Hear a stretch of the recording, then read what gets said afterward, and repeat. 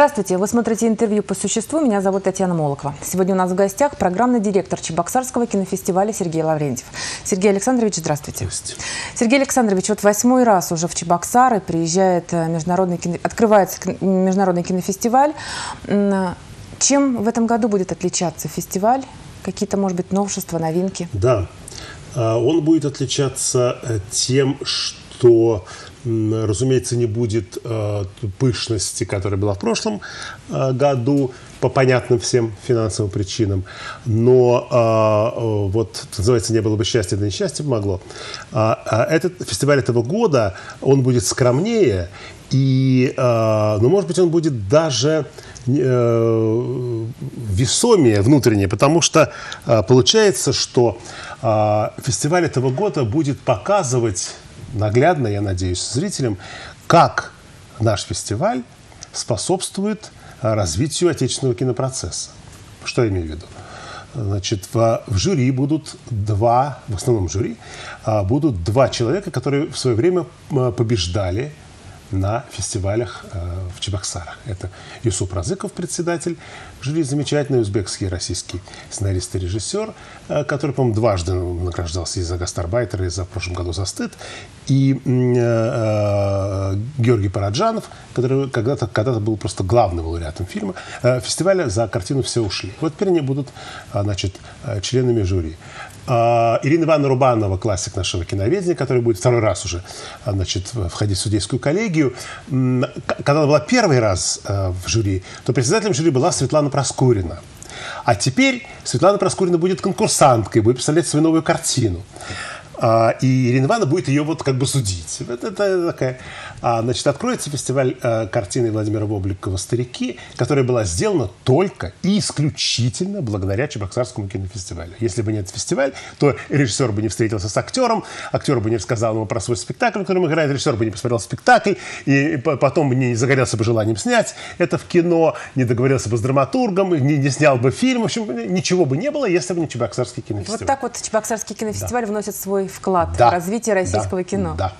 да. Сергей Александрович, ну, на Чебоксарском кинофестивале каждый год а, зрители могли увидеть картины, которые, а, может быть, в большом прокате и не были, но в то же время завоевывали призы других международных кинофестивалей. Вот что в этом году зрители увидят? Да, а, таких картин будет несколько как обычно. Это будет картина испытания Александра Кота, которая получала призы в Токио, в Абу-Даби, а, еще, по-моему, в 20 местах за рубежами нашей Родины. Главный приз кинотавра прошлого год назад она получила. А, это замечательная картина, а, значит, такой ретро-история, без единого слова, надо сказать. Значит, картина на дебютантки Нигины Сайфулаевой, она таджичка, но это российская картина, «Как меня зовут», о приключениях значит, двух москвичек, которые отправляются в Крым, в старый еще Крым, искать отца одной из них. А, а, она тоже была показана в нескольких, э, значит, на нескольких международных фестивалях. И здесь тоже в кинотавре тоже получила приз. Кажется, дебют, не помню точно, год назад. А, и вот будет здесь показана картина «Белый ягель». Замечательная такая картина про народы Севера. Володя Тумаева, которая получила приз в Фипресси на Московском фестивале. Вот она будет тоже здесь показана. Ну, хотя бы вот эти три, достаточно того, что эта тенденция сохранится. Может быть, к сожалению, потому что проката действительно нет у этих картин. Они либо не идут вообще, либо идут в Москве там 2, 3, 4 раза в двух, трех, четырех площадках, а за пределами Москвы вообще никогда не показывается. И причем их нет на дисках, их, если показывают по телевизору, только в 2 часа ночи. То есть э, единственная возможность их увидеть – это фестиваль. Такой сам издат. Да, получается, да. да. Сергей Александрович, а какие конкурсы будут э, в этом году? Ну, как и в прошлом, будет, значит, основной конкурс, в котором будут участвовать вот перечисленные выше фильмы и ряд других. И вот то, что мы начали в прошлом году, то есть конкурс фильмов малых народов, это, это все будет продолжено. И там будут э, картины, которые сделаны и в Чувашии, и в Башкирии, и в э, Татарстане, и в Бурятии, и в Якутии. В общем, это, надо сказать, что этот кинематограф сейчас очень и очень так поднимается.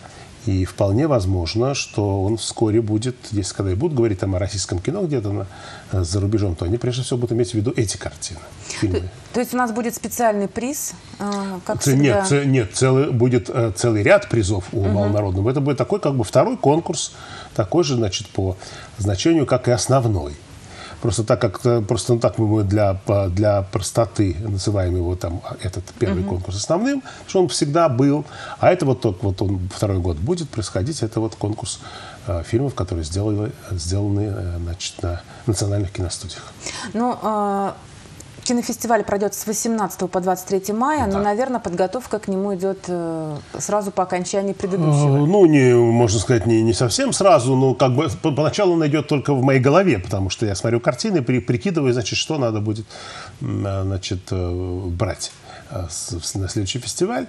Ну, где-то уже с января начинается, я начинаю звонить продюсерам, значит, разговаривать с ними, значит, просить картины. Это, надо сказать, не всегда очень легкий процесс, должен вам заметить. Вот, но тем не менее. Ну, обычно в Чебоксары на кинофестиваль приезжают звезды российского кино.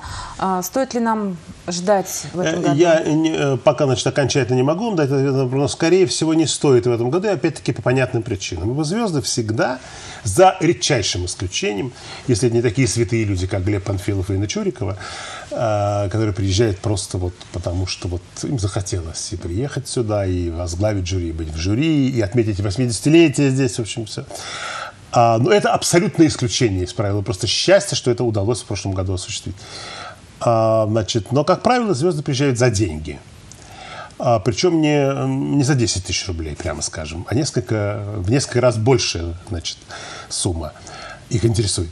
Поэтому в современных ситуациях это сложно. Сергей Александрович, э, в каких кинотеатрах приблизительно когда какие картины пройдут, какой конкурс? А, значит, ну, э, в, в, а, насколько я, значит, знаю, а, это будет в «Синеме 5» основной конкурс. Он будет повторяться в Волжском, что-то будет в «Каскаде». Какие-то не конкурсные параллельные программы будут показываться в Сеспеле.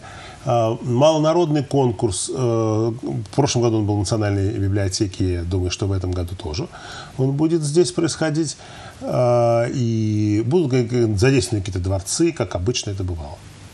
Сергей Александрович, ну вообще, мне кажется, многие телевизионные звезды, кинозвезды и не знают, что есть такой город Чебоксары, да, О! Это Нет, точно. Да? Знают. Знают. Во-первых, э, был когда-то фестиваль, который был еще до меня, вот который был первым, на котором бывали, по-моему, все. Там было просто невероятное количество звезд, и они были просто все. Вот те, кто были тогда то, на тот момент угу. живые, те, кто были значит, в состоянии, все приехали. Вот все абсолютно. И э, поэтому уж знать-то знают точно.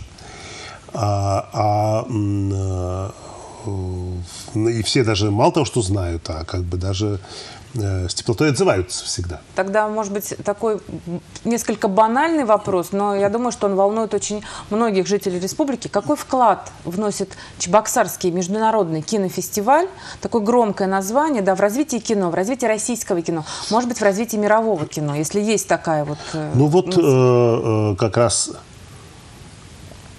в этом году, как я уже говорил, а, значит, в, э, вот эта вся эта ситуация с людьми, которые в жюри, а, которые, значит, были в жюри, опять в жюри, которые были в жюри теперь в конкурсе, а, значит, э, ситуация с фильмом «Открытие», который сделан только исключительно благодаря фестивалю. Это вот есть та э, деятельность, которую вообще фестивали должны осуществлять. Вот они прежде всего существуют для этого, потому что у нас какое-то есть превратное представление о кинофестивалях.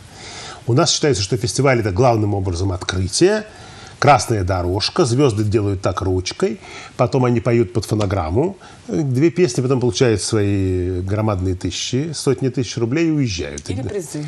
Или призы за вклад в киноискусство. И это такой гарнир а мясо фестивальное – это совершенно другое. Это как раз вот фильмы. И если фестиваль как нормально существует, то он как раз вот сам становится каким-то субъектом развития национального кинопроцесса.